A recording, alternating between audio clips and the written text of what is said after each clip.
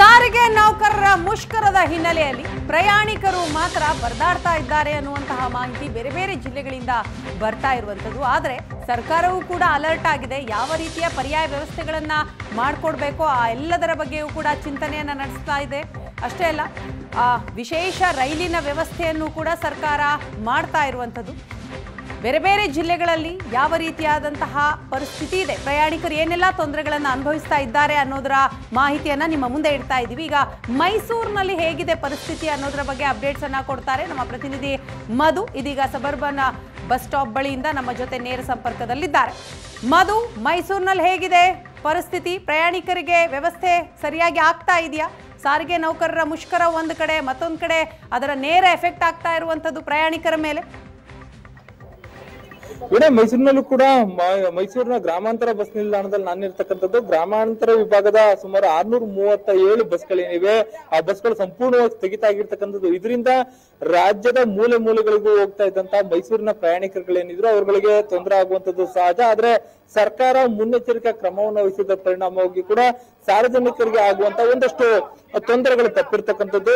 ಸಾರಿಗೆ ಬಸ್ ನಿಲ್ದಾಣದಲ್ಲಿ ಖಾಸಗಿ ಬಸ್ ಚಾಲಕರ ದರ್ಬಾರ್ ಇರ್ತಕ್ಕಂಥದ್ದನ್ನು ನೀವು ಗಮನಿಸಬಹುದು ನಾನೀಗ ಮೈಸೂರಿನ ಸಬರ್ಬನ್ ಬಸ್ ನಿಲ್ದಾಣದಲ್ಲಿ ಇದ್ದೀನಿ ನೀವು ಮುಂಭಾಗದಲ್ಲಿ ಕಾಣ್ತಾ ಇರ್ತಕ್ಕಂಥ ಬಸ್ ಏನಿದೆ, ಅದು ಬೆಂಗಳೂರು ಕಡೆಗೆ ತೆರಳತಕ್ಕಂಥ ಬಸ್ಗಳು. ಇಲ್ಲಿ ಏನು ಕೆಎಸ್ಆರ್ಟಿಸಿಯ ಓಲ್ವೋ ಬಸ್ಗಳು ಪ್ರಯಾಣವನ್ನ ಮಾಡ್ತಿದ್ವು ಈ ಸ್ಥಳಗಳಲ್ಲಿ. ಇಲ್ಲಿಂದ ಬೆಂಗಳೂರಿನತ್ತ ಜನರನ್ನ ಕೊಂಡೊಯ್ಯುವಂತ ಕೆಲಸವನ್ನ ಕೂಡ ಮಾಡ್ತಾ ಇದ್ರು.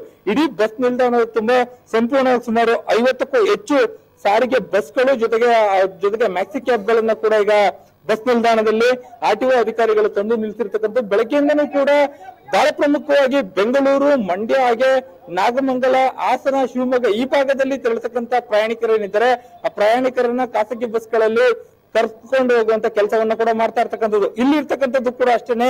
ಪ್ರತಿ ಬಸ್ಸು ಕೂಡ ಅಲ್ಲಿರ್ತಕ್ಕಂಥ ಸೀಟ್ಗಳು ಫಿಲ್ ಆಗೋವರೆಗೂ ಕೂಡ ವೇಟ್ ಮಾಡ್ತಾ ಇದಾರೆ ವೇಟ್ ಮಾಡಿ ಕರ್ಕೊಂಡು ಹೋಗುವಂತ ಕೆಲಸವನ್ನ ಮಾಡ್ತಿದ್ದಾರೆ.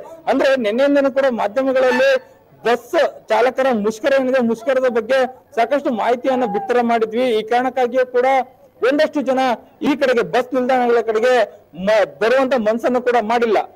ಒಂದಷ್ಟು ಜನ ರೈಲ್ನಲ್ಲಿ ಪ್ರಯಾಣ ಮಾಡಿದ್ರೆ ಬಂದಿರ್ತಕ್ಕಂಥ ಕೆಲವೇ ಪ್ರಯಾಣಿಕರೇನಿದ್ದಾರೆ ಪ್ರಯಾಣಿಕರನ್ನ ಅಂದ್ರೆ ಸ್ಥಳೀಯವಾಗಿ ಮೈಸೂರು ಜಿಲ್ಲೆಯ ಹಲವು ಭಾಗಗಳಲ್ಲಿ ಮಂಡ್ಯ ಹಾಗೂ ಬೆಂಗಳೂರು, ಶಿವಮೊಗ್ಗ, ಹಾಸನ ಈ ಭಾಗಗಳಿಗೆ ಕಳಿಸುವಂತ ಕೆಲಸವನ್ನ ಏನೋ ಮಾಡ್ತಾ ಇದ್ದಾರೆ. ಆದ್ರೆ ಇದು ಇವತ್ತಿಗೆ ಸರಿ ಹೊಂದಬಹುದು ಬಹುಶಃ ಮುಷ್ಕರ ಇವತ್ತು ನಾಳೆಯೂ ಕೂಡ ಮುಂದುವರೆದಂತ ಸಂದರ್ಭಗಳಲ್ಲಿ ಮೈಸೂರಿನಿಂದ ಗುಲ್ಬರ್ಗದವರೆಗೆ ಇರತಕ್ಕಂತ ರೂಟ್ಗಳೇನಿವೆ, ಆ ರೂಟ್ಗಳಿಗೂ ಕೂಡ ಬಸ್ ಗಳನ್ನ ಚಾಲಾವಣೆ ಮಾಡ್ಬೇಕಾಗತ್ತೆ. ಯಾಕಂತ ಹೇಳಿದ್ರೆ ಇವತ್ತು ಬೆಳವಣಿಗೆಯಷ್ಟು ಬಂದಿದ್ದಂತ ಅಂದ್ರೆ ಹಾವೇರಿ, ಗದಗ ಈ ಭಾಗದ ಪ್ರಯಾಣಿಕರುಗಳೇನಿದ್ರು, ಅವ್ರುಗಳನ್ನ ಕಳಿಸ್ಲಿಕ್ಕೆ ಈಗ ಪ್ರೈವೇಟ್ ಬಸ್ಗಳಲ್ಲಿ ಸಾಧ್ಯ ಆಗದೆ ಇರತಕ್ಕಂಥದ್ದು, ಒಂದು ಹಂತದಲ್ಲಿ ಬೆಂಗಳೂರಿಗೆ ತೆರಳುವಂತವ್ರನ್ನು ಕೂಡ ಮಂಡ್ಯದವರೆಗೆ ಡ್ರಾಪ್ ಮಾಡಿ ನಂತರದಲ್ಲಿ ಮಂಡ್ಯದಿಂದ ಮತ್ತೊಂದು ಬಸ್ಗೆ ಕಳಿಸುವಂತ ವ್ಯವಸ್ಥೆಗಳು ಕೂಡ ಒಂದ್ ಹಂತದಲ್ಲಿ ಆಗಿದ್ವು ಇನ್ನು ದರದ ವಿಚಾರಕ್ಕೆ ಬಂದ್ರೆ ಏನು ಕೆಎಸ್ಆರ್ಟಿಸಿ ಬಸ್ ನಿಗದಿ ಮಾಡಿರ್ತಕ್ಕಂಥ ದರ ಏನಿದೆ, ಅಷ್ಟನ್ನೇ ಕೂಡ ತೆಗೆದುಕೊಳ್ಬೇಕು ಅಂತ ಈವರೆಗೂ ಕೂಡ ಅಧಿಕಾರಿಗಳು ಹೇಳಿರ್ತಕ್ಕಂಥದ್ದು. ಆ ಬಗ್ಗೆ ಒಂದೆರಡು ದೂರುಗಳು ಕೂಡ ಸದ್ಯಕ್ಕೆ ಈವರೆಗೂ ಕೂಡ ಯಾವುದು ಬಂದಿಲ್ಲ ಆದ್ರೆ ಪ್ರಯಾಣಿಕರಿಗೆ ಕಿಂಚಿತ್ತು ತೊಂದರೆ ಆಗ್ತಾ ಇರ್ತಕ್ಕಂಥದ್ದು ಸ್ಪಷ್ಟವಾಗಿ ಕಾಣಿಸ್ತಾ. ಯಾಕಂದ್ರೆ ಸ್ಥಳೀಯವಾಗಿ ಇರ್ತಕ್ಕಂಥ ಪ್ರಯಾಣಿಕರನ್ನ ಕಳಿಸುವಂತ ಕೆಲಸಗಳು ಖಾಸಗಿ ಬಸ್ಗಳಲ್ಲಿ ಆಗ್ತಾ ಇದೆ ಆದ್ರೆ ಮುನ್ನೂರು ಕಿಲೋಮೀಟರ್ಗಳಿಗೂ ಮೀರಿದಂತೆ ಏನು ಪ್ರಯಾಣ ಮಾಡುವಂತ ಪ್ರಯಾಣಿಕರು ಏನಿದ್ರು ಮೈಸೂರಿಂದ ಅದರಲ್ಲೂ ಕೂಡ ಬಳ್ಳಾರಿ ಭಾಗಕ್ಕೆ ತೆರಳ್ತಕ್ಕಂಥ ಪ್ರಯಾಣಿಕರು ಏನಿದ್ರು ಅವರು ಕಳಿಸುವಂತ ವ್ಯವಸ್ಥೆಗಳು ಈಗ ಸದ್ಯಕ್ಕೆ ಆಗ್ತಾ ಇಲ್ಲ. ಬಹುಶಃ ಒಂದು ದಿನಕ್ಕೆ ಇದು ಪ್ರಯಾಣಿಕರು ತಡ್ಕೊಳ್ತಾರೆ ಆದ್ರೆ ನಾಳೆಯೂ ಕೂಡ ಮುಷ್ಕರ ನಡೆದಂತ ಮುಂದುವರೆದಂತ ಸಂದರ್ಭಗಳಲ್ಲಿ ಖಾಸಗಿ ಬಸ್ಗಳನ್ನ ಅಲ್ಲಿಯೂ ಕೂಡ ಓಡಿಸುವಂತ ವ್ಯವಸ್ಥೆಯನ್ನ ಅಧಿಕಾರಿಗಳು ಮಾಡ್ಕೊಳ್ಬೇಕಾಗತ್ತೆ.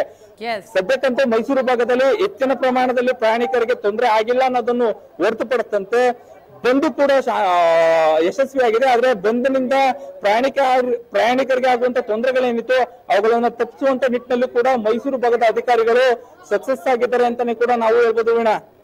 Thank you thank you Madhu. ತಮ್ಮ ಮಾಹಿತಿಗಾಗಿ.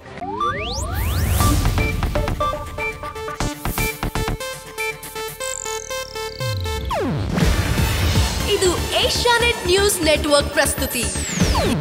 ನೀವು ನೋಡ್ತಿದ್ದೀರಾ ಏಷ್ಯಾ ನೆಟ್ ಸುವರ್ಣ ನ್ಯೂಸ್.